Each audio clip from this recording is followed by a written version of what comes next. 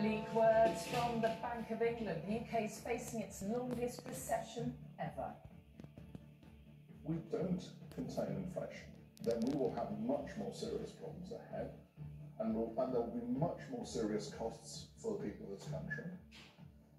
It was a stormy forecast from the bank's governor as he raised interest rates by their most for 30 years and warned of difficult choices in the months ahead.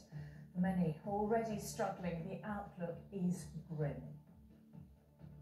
We're going to have to find an extra, nearly an extra four hundred pounds a month.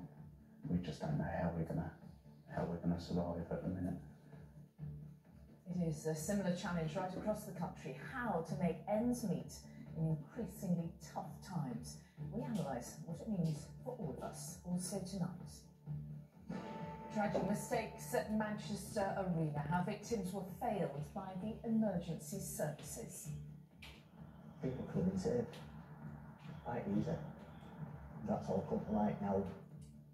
The Home Secretary finally makes it to Manston Immigration Centre but flies in by helicopter, well away from the cameras.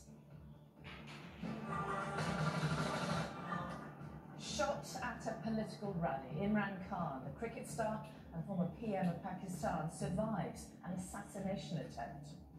And why your accent still counts against you, how the Queen or King's English still rules modern Britain.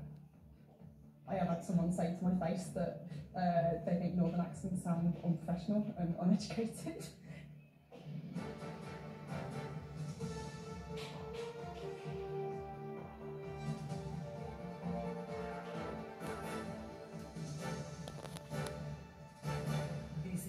the Evening News with Mary Nightingale.